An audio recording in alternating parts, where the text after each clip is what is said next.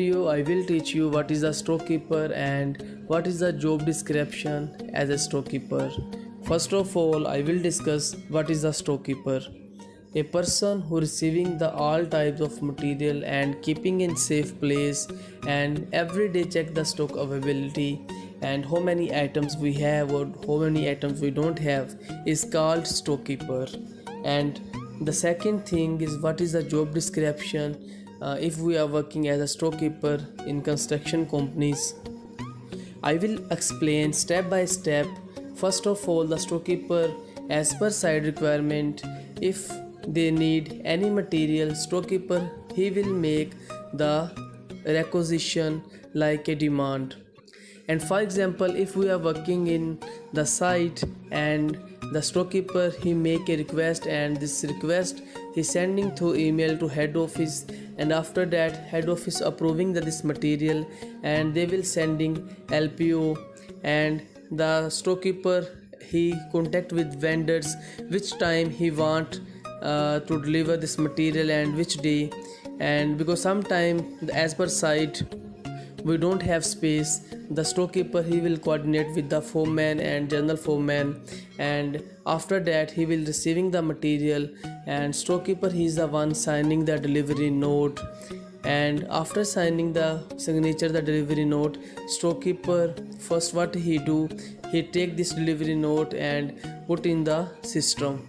Because the different company they are using different softwares like bright opera and uh, like different softwares.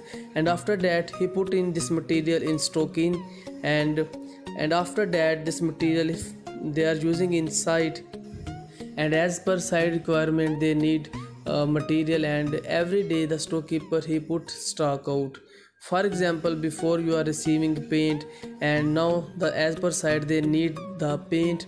And if you are giving to paint any person and you need to stock out how many gallon you are giving the person. And every day storekeeper he will check the stock availability uh, like uh, which type of material like we are more using daily usage material he will make a list and if material is short he will sending request to head office. And because storekeeper he is the one responsible person uh, the fully site. If any material is shortage a storekeeper he is the one responsible person. Because he need to know every day how many items going to stock out and how many uh, material coming in one day and for example the storekeeper uh, he's not checking the material and he's not check the stock in and how many uh, material we have. And uh, for example the uh, the labor they need cement and tomorrow morning cement they don't have. And the cement is finished as per site requirement and mason they need cement if any material issue storekeeper is responsible. The storekeeper uh, in the one day he will visit the fully site and check the uh, all materials which type of material we need and he will he will make a request and he's ordering uh, order the material and and put in stock in and the mostly company uh, for example uh, they are uh, using the uh, this rental material. For example the company need shuttering material and the company don't want to buying new material.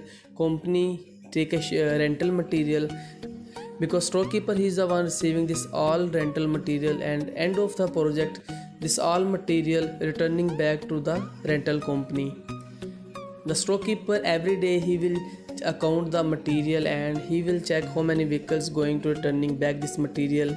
And he is the one uh, responsible of this material.